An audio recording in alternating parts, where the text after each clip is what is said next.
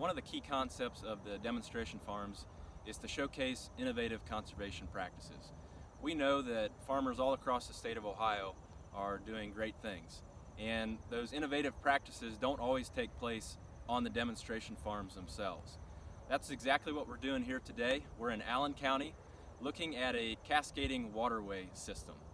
I'll talk more about that here in a little bit, but if we step back and think about uh, one of the key concepts that we talk about um, with water quality, and we talk about this on the demonstration farms all the time, we want producers to think about water management, having a water management plan for every field that they, that they work on.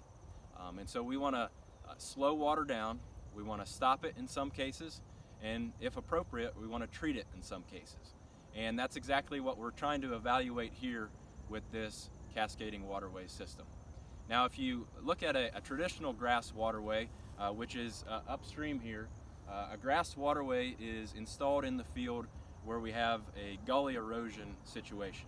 Uh, we've got water that's starting to uh, start starting to make a cut and it's starting to move that soil off site. Well, that soil contains phosphorus in it. And so we're trying to stop that erosion from happening. We'll come in and, and seed a uh, vegetation here as you can see. And uh, that vegetation is here uh, year round. And so we stop that uh, gully erosion from happening. A grass waterway though doesn't necessarily stop the phosphorus that's coming to the system itself.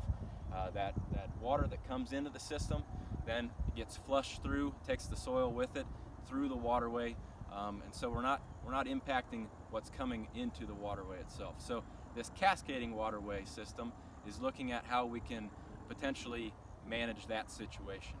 Now, uh, if you take a look here uh, at, a, at the, uh, the cells in this cascading waterway, uh, you can see uh, that it's basically created a, a, pool system within the waterway itself. And uh, these pools are generally two, two and a half feet deep and are trapping that water within the grass waterway. This concept was developed in Maryland and they've seen uh, initially good results in water quality, uh, reductions in phosphorus and nitrogen and sediment, um, but we think that's due to basically reduced volumes of water moving through the system.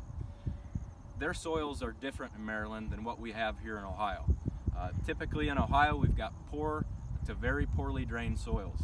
And so as you can see in, this site, the water has come into the system, um, but it is, it's pooled, it's stayed here.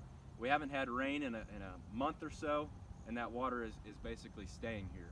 So we don't know yet how effective this practice is going to be in reducing water volume um, from the system, um, but that's the whole point of, of these sites is to evaluate them for future use here in the landscape.